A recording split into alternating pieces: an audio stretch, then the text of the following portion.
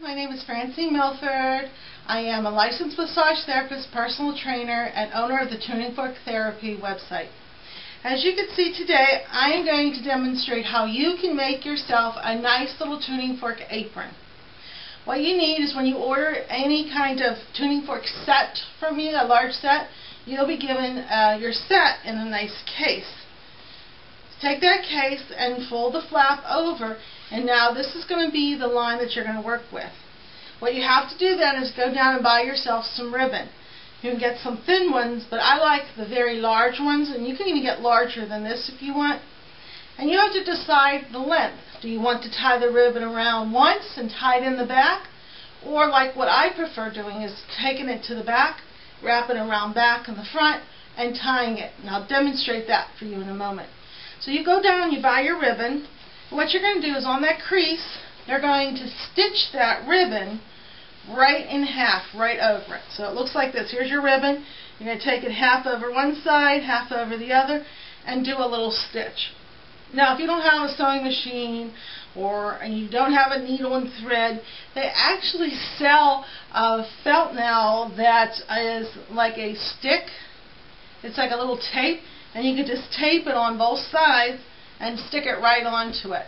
Now, I don't know how well that's going to hold up, but I'm just saying if you can't do it yourself or get your mom or grandma to do it for you, then that is an option. So anyway, you're going to sew that on the side, and then you're going to flip it back over, and there's your apron. I'm going to show you what it looks like on. So I take it like this, and I put it in the front, I wrap it around the back, and then I tie it. Now this will stay in place the whole time I'm working. Then I can do my tuning forks and use them. And I have them all lined up from C to C so I know where they're at as I'm going along. When I'm all done, I just take it off, put it down, and then what I like to do is I like to put the straps inside, fold it over, and then I like to roll my forks up. You can also buy some small ribbon, stitch it to the outside with just a couple little stitches and only take seconds. And then I use that as my tie to hold it in place.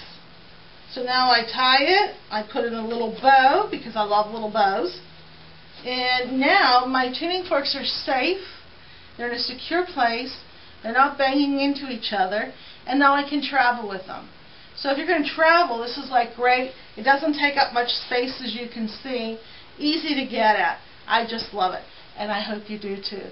Thanks for watching, and visit me at my website at www.tuningforktherapy.com for some other great ideas, tips, and I have tons of articles um, that uh, doctors are using tuning forks uh, to on the body. It's just amazing what's coming up now as more and more people are working with tuning forks and sound therapy. And I'm glad that you're going to be one of them. Have a great day. Namaste.